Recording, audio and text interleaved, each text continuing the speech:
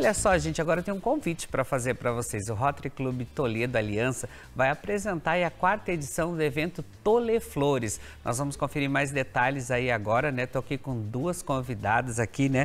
Que vai contar para a gente um pouquinho dessa como vai ser essa quarta edição. Tô aqui com a Marlene e a Talita para fazer esse convite para vocês. Em primeiro lugar, boa tarde, Marlene. Boa tarde, Talita. Sejam bem-vindas aqui ao nosso Ver Mais. Eu já tive o prazer de, de participar de algumas aí edições. Essa é a quarta. Então, Marlene, conta pra gente como que vai ser essa quarta edição. Boa tarde, tá ligado? É, essa quarta edição vai ser é, em formato de feira, né? Com os expositores é, dentro do centro de eventos, uma área coberta. E teremos é, floriculturas locais e também de fora de Toledo. Ela no centro de eventos Ismael Esperafico que vai acontecer, né? Isso. E Talita, conta pra gente o que, que os visitantes vão encontrar nessa edição, além de lindas flores lá. Vai ter, uma, vai ter uma grande variedade de produtos que a gente vai ter, né? No caso, mudas, frutíferas, vamos ter decorações, vai ter as suculentas que a gente adora, né? Orquídeas. É que agora tá na moda também Sim. as suculentas, né? Uhum, eu e, particularmente adoro. E o legal dessas feiras também, né, Thalita, são as trocas de experiências ali Exatamente, também, né? Uhum. Com quem já planta, com quem está começando, Sim. com quem já tem mais tempo também, uhum. né? E dá para usar em variedades, né, de, de opções, também para quem é arquitetos ou que né, acaba fazendo aquela decoração em casa. Então vai encontrar muita, muita variedade ali que a gente vai trazer dessa feira.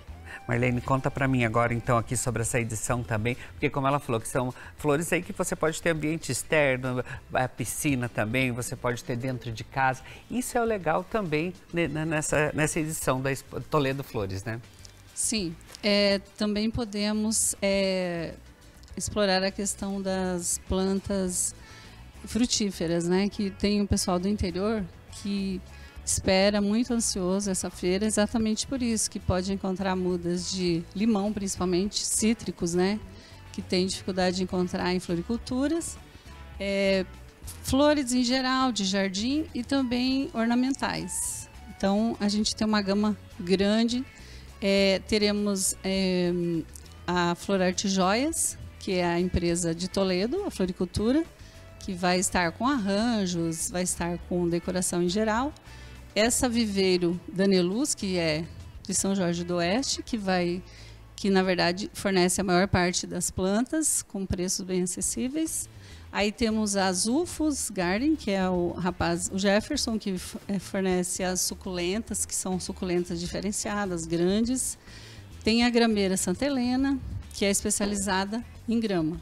Uhum. E também os artesãos de Toledo, que vão estar ah, representando a Coarte que vão estar com é, toda a questão de artesanato em tecido, artesanatos em geral. E também a Embaixada Solidária, com artesanato feito pelos refugiados e a Fazenda da Esperança vai estar representada vendendo produtos de panificadora. Que são maravilhosos os pães da Fazenda Esperança Sim. lá. Aliás, quero mandar um abração para Rose Colpo também, toda a equipe de lá, que a gente sempre está fazendo umas campanhas juntos. Eu lembro que na primeira edição da, da, da Toledo Flores eu comprei um pé de caqui chocolate, gente. Meu sonho era ter um caqui chocolate em casa. E lá já tinha um pezinho já produzindo, era pequenininho, mas já estava produzindo. Já Agora ele já está maior e já tem frutos também, né? Sim, tem o figo, que normalmente os pés já têm figo. Limão, que era a minha vontade de ter um limão Tahiti, também já estou produzindo. Inclusive, muitos companheiros também. Então, é muito é, legal. Nessa quarta edição, eu vou ver se eu consigo um pé de pocã, gente, que eu quero ter pocã em casa agora também. Mas eu quero daquelas graúdas, então eu vou lá procurar. Mas, Thalita, conta pra gente é, como que, quais vão ser os dias e os horários de atendimentos lá também. Como que vai funcionar? Então, assim, lá no centro de evento, vamos estar das 9 às 21 horas. A gente começa no dia 20 até o dia 23. A abertura vai ser no dia 20 às 9 horas. Quinta, é uma quinta-feira, né? Uma quinta-feira, uhum. E vamos estar atendendo o dia inteiro.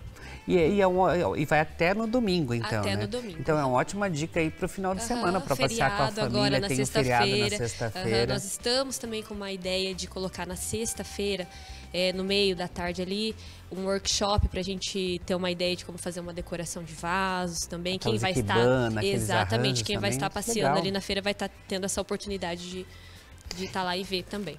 Marlene, mas fala para mim as expectativas, então, dessa quarta edição, porque como a gente já falou, eu já acompanhei as outras três, mas sempre vem novidades, vem pessoas novas também abraçar esse, esse projeto, né? Bom, é, a expectativa nossa é excelente. Nós é, estamos há dois anos sem a Tole Flores pela pandemia e estamos com alguns projetos engavetados por falta de verba, então agora vai ser o momento da gente é, arrecadar justamente para colocar em prática né, essas, essas ideias. E, assim, e, e, qual será a destinação dos valores arrecadados? A gente sabe que o Rotary está fazendo uma campanha também. É, como que vai ser destinado esse dinheiro? Esse dinheiro é, na verdade, não é exatamente o dinheiro que a gente destina. A gente destina é, através de projetos, né, que são aprovados por uma comissão do CADRE. Então, o Rotary Internacional que repassa o dinheiro para os clubes que têm projetos sustentáveis aprovados. Então, a gente não dá dinheiro para ninguém, a gente somente entrega equipamentos ou suprimentos é, feitos, é, tudo pedido através de projetos. Então são dessas pessoas que levam, tipo as plantas, é, vai ter parte da alimentação também, que isso sempre conta bastante também, né? Infelizmente não teremos é, praça de alimentação por uma questão burocrática de alvará e tal, que demoraria e não conseguiríamos em, em tempo hábil fazermos a feira. Então Infelizmente, não mais teremos águas, refrigerante, é, coisas mais assim para atender um público que está de passagem. Mas então é só aproveitar. Então, gente, é, vai ser muito legal, como eu falei, essa é a quarta edição, é uma campanha do Rotary Clube Aliança, né? Isso. Isso de Toledo que está fazendo também. E como a gente falou, tem o feriado aí sexta-feira, começa na quinta-feira à noite, vai até no domingo, né? Vamos reforçar o convite aí, os horários certinho. Então eu vou né? falar. Então vai ser quinta, sexta, sábado e domingo, das 9 às 21 horas. E não teremos intervalo de almoço. Então, nossos voluntários e companheiros estarão dispostos em tempo integral para atender você que tem qualquer horário livre e no Centro de Eventos Ismael Esperafico, um local que todos conhecem, né? E eu espero contar com a presença de todos. É isso aí. Agora eu queria até que a, a Thalita reforçasse para a gente o que, que as pessoas vão encontrar aí nessa quarta edição do Flores, né? Porque a gente sabe que são plantas aí diferenciadas, frutíferas também. Conta mais um pouquinho para a gente, para a gente deixar o povo em casa com vontade para participar aí também, né? Vamos ter então as mudas, as frutíferas, é, as plantas nativas e ornamentais e todos os tipos de decorações, vasos, e mais o pessoal do, da Fazenda da Esperança também com os produtos de alimento. É, e os produtos de alimentos da Fazenda da Esperança, né, são os pães que eles produzem lá também, É, biscoitos, né? pães e cucas. A embaixada com a, a Edna representando, que vai ter a boneca que sustenta o projeto deles. É, também panos de prato, aventais, acessórios em geral feitos pelos refugiados. E a parte do Aqua Paraná também, que eu esqueci de citar, que vai ter aquários, é, toda a linha de acessórios para aquários e também manutenção de lagos com peixes, que eles têm esse trabalho. Tem a, uma senhora Noeli, que é artesã, que não está junto com a Coarte, mas também vai estar com artesanato em tecido, é, deixa eu me lembrar, mais é, algum? E uma coisa que é muito importante também é, um, é o projeto da Fazenda Esperança, que é lindo, né? Que é muito ah, importante também. E, claro, da Edna Nunes lá com a Embaixada Solidária, com o trabalho que eles vão estar levando os artesanatos que eles fazem lá também, vão estar expondo, vão estar vendendo. E parte desse dinheiro, como ela falou, né?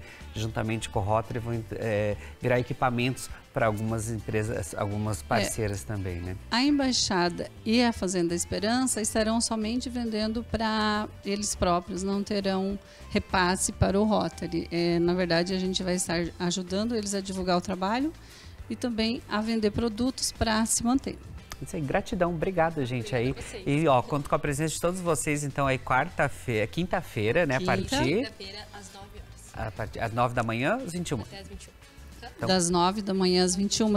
E eu quero fazer um convite especial para o pessoal, desculpa, pessoal da região do interior do oeste de Toledo, da região oeste de Toledo, para estar participando, porque a gente sai nas ruas, todo mundo. Quando vai ser a, sua, a Feira Toleflores? Eu falo, tá, calma tá. que está saindo. Tá marcado, então. Obrigada. Agora vou contar com todo mundo. Gratidão. Todas as formas de pagamento, tá? Beleza, brigadão. E todas as formas de pagamento, e a gente vão lá comprar as flores.